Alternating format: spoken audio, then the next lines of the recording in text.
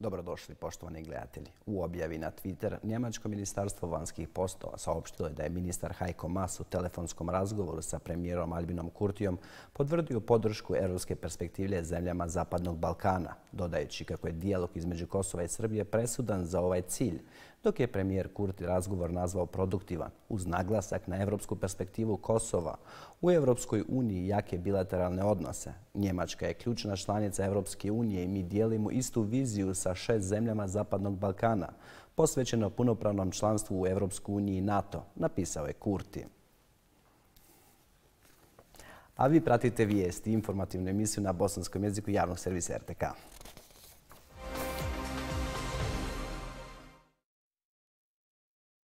Tokom posljednje 24 sata na Kosovu od posljedice koronavirusa preminula su tri osobe, a zabilježeno je 49 novih slučajeva COVID-19. Izlečeno je 346 pacijenata, a Kosovo je dobilo preko 3.500 doza vakcine kompanije Pfizer u sklopu donacije od Evropske unije.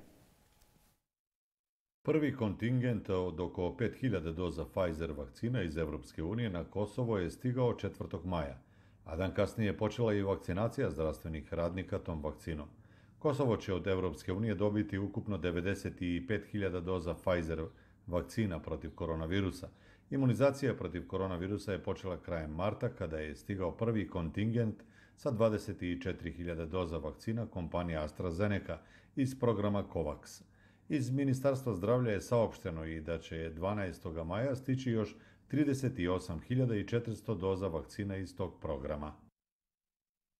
Visoki predstavnik Evropske unije Josef Borelj ponovio je potrebu za liberalizaciju viza za Kosovo i objasnio je da će dijalog Srbije i Kosova nastaviti kada kosovska strana bude spremna. Naime, premijer Albin Kurti zatražio vrijeme za pripremu. Borelj je izvestio kako mu je premijer Kosova Kurti rekao da još nije spreman za dijalog, da je tek stupio na dužnost i da tek treba da prouči cijeli dosije pregovora.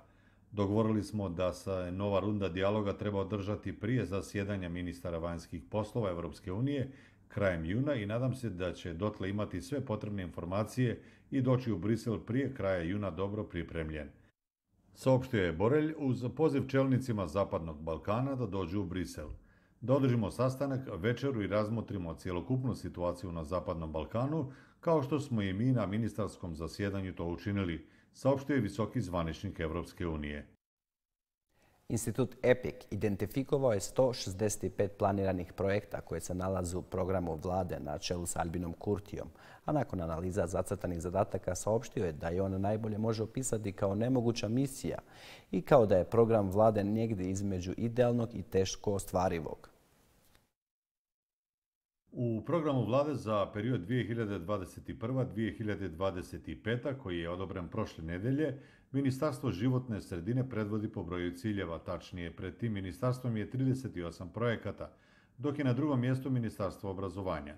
Program sadrži prave mjere u skoro svakom sektoru, međutim, njegova primjena zavisit će od pitanja na koja još uvijek nemamo odgovor – Primjera radi, kako će se sve to zacrtane obaveze finansirati, zatim da li će nova vlada uspjeti da vakciniše 60% građana do kraja ove godine, da li će vlada pokazati potrebnu političku moć da otme državu moćnim interesnim grupama koje žele da zadrže status quo u našem društvu, ocjenjuje se u saopštenju instituta.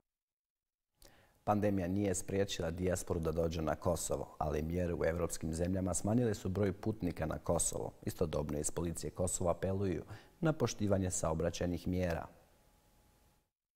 Neposredno nakon olakšanja mjera u nekim evropskim zemljama došlo je do povećanja broja građana koji su došli na Kosovo ili su planirali da dođu.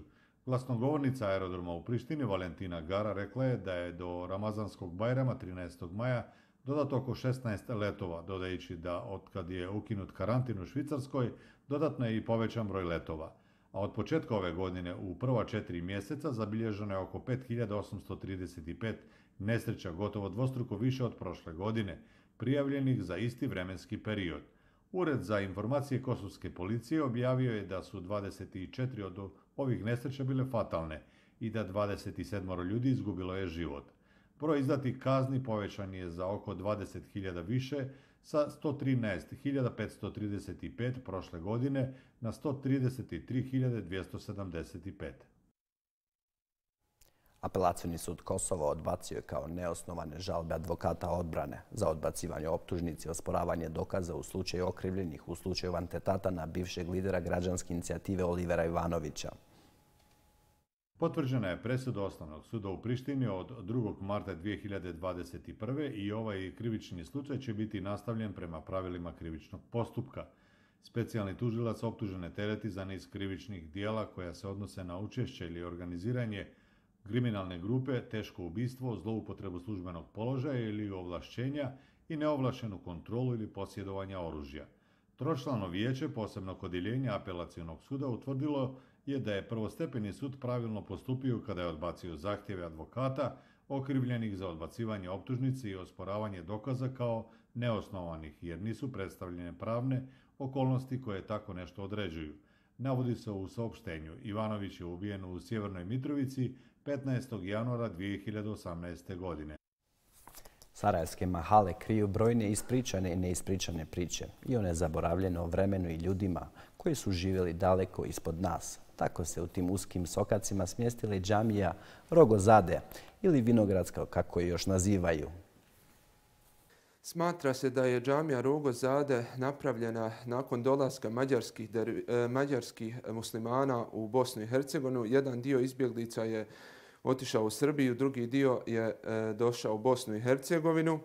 Naselio se iznad Sumbul Česmi, Eh, u području eh, eh, današnjeg vinograda. Izbjeglice iz Mađarske, njihove žene su ponijele nakon u, u, u toku prognanstva ponijele su par loza vinovi, par loza vinove i loze i tako je usadile usadilo ovo je bilo područje veoma plodno i tako čitava čitava ovo naselje je dobilo naziv vinograd. E, džamija Rogozade je napravljena onaj najmanja džamija na Balkanu e, izbjeglice kada su došle u Bosnu i Hercegovinu zbog svoje neimašnje, možemo reći. One su sve ostavili u, u borbi za islam, ostavili su zbog svoga prognaništva, sve su ostavili i došli da započnu novi život u Bosnu i Hercegovini. I oni vjerovatno nisu imali sredstava za veću džamiju. Ova džamija također do sebe ima tri turbeta, e, to je turbe sa tri šehida, smatra se da su to prvi e, doseljenici koji su umrli u tom periodu da su ukopani u to turbe. Također, sada danas u, ovoj, u ovom Ramazanu, u ovoj godini, u prethodnih deset godina, što se tiče posjeta turbeta, sve manje i manje ljudi, nema više naroda, turbe Rogozade nije toliko posjećeno kao što i prije bilo.